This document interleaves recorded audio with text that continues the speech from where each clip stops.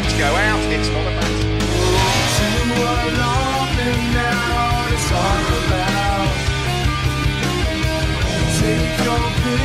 Down and check it out. Or consequence,